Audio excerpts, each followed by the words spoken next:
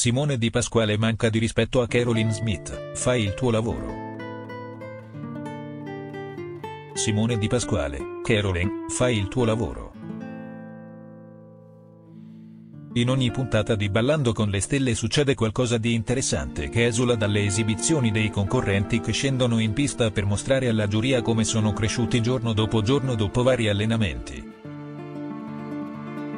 Stasera sono scesi in pista Francesco Paolantoni e la sua maestra di ballo e la giuria, salvo Guillermo Mariotto che gli ha dato 8, non ha brillato con i complimenti. Simone Di Pasquale, poco prima della votazione della giuria, ha fatto notare come siate sempre molto delicati. Siete uguali quando dovete mazzolare. Quell'uguali non è andato giù a Caroline Smith, che poco dopo si è sentita rispondere, sempre dal maestro. Fai il tuo lavoro, Caroline.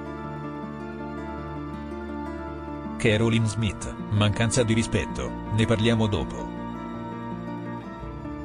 Lo sguardo irato di Caroline Smith è stato tutto un programma, se non avesse dovuto andare avanti con la votazione per Francesco Paolantoni forse avrebbe risposto per le rime a un Simone di Pasquale infastidito per chissà quale motivo. Caroline gli ha semplicemente chiesto se i giurati fossero tutti uguali e se fosse sicuro di questo, specificando che non aveva ancora dato un giudizio.